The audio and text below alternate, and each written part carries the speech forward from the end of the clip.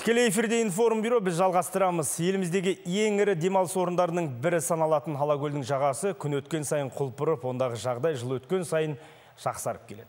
Қазір адамдардың тынығып суға шомылатын орындары заманауи қондырғылармен жабдықталып, жағажай толық абаттандырылған.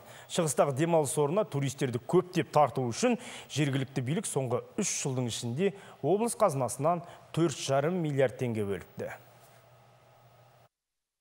Көлдің жағасы да күшті болып кеткен, бәрі таза.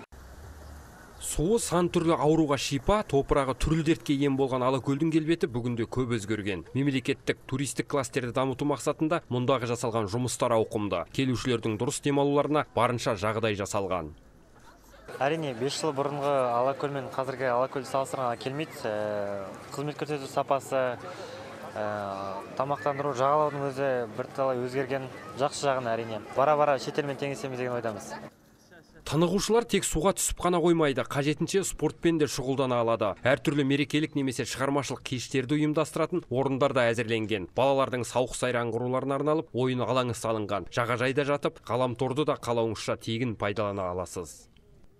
Облыс әкімі даниал кенжетайұлы алакөлімізге өте қатты көңіл бөліп мына соңғы үш жылдың ішінде 5, миллиардқа жуық қаражат бөліп өте ауқымды жұмыстар істеліп жатыр. Бүгінгі бір күннің ішінде ғана 18 мың турист демалса мына сезон, сезонға енді орта есеппен алдын ала болжамы 500 мыңға дейін туристер демала ма деп жоспарлап отырмыз. Жағажайда 161 демалыс үйі екі мейрамхана 19 дәмхана және 29 дүкен келушілерге тұрақты түрде қызмет көрсетуде. Сонымен қатар бір медициналық бекет пен екі дәріхана бар. Көл жағасына жолаушылардың жол азабын тартпай жетуі үшін автобустан бөлек әуе рейстері ашылған. Астана мен алматы өскемен семей қалаларынан аудан орталығы үржарға тікелей ұшақпен жете аласыз. Өскемен мен семейден жалаңашкөл бекетіне дейін пойызбен де баруға болады. Жанболат санияз кирилл ефремов информбюро шығыс қазақстан облысы.